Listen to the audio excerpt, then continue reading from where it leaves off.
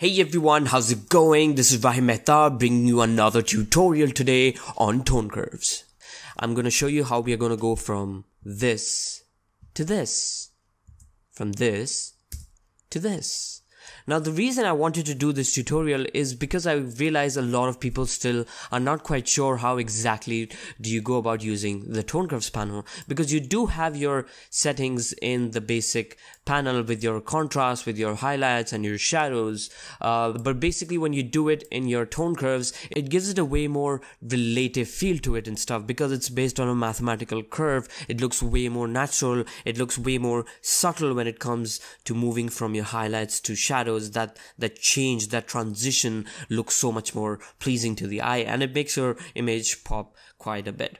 So now before we jump right into it, I just want to explain what exactly an histogram is, which is basically what you see right here. So if you look at the histogram of your entire picture, which is right at the top um, of your Lightroom panel, if you go on the extreme left, you can see it shows all the blacks uh, this shows the shadows. If you go to the extreme right, this shows your whites and this shows your highlights. So this is exactly what the data is represented over here. You can see we have way more data in the darks and the shadows and that's because of her hair, her jacket, the background and stuff. We don't have much in the highlights as you can see. We just have a bit of the sky over here, a little bit over here and a little bit on her cheek. Now just to give it that punch, uh, what I'm going to do is I'm going to create a center point over here.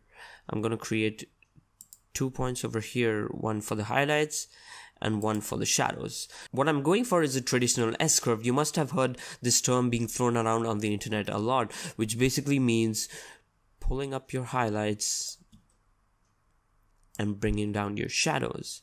Now, as you can see, this looks pretty good. It looks a bit too dramatic because you have a lot more data in the shadows and blacks, and I kind of don't want to darken this a lot. I want to darken the overall image. So I'm going to just take this and as you can see there's less data in the darks over here so this kind of represents an overall uh, shadow look. So I'm just gonna come here and drop down this a bit.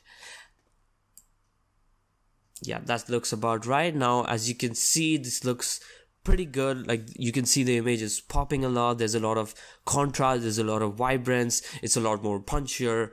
This is how it looked before.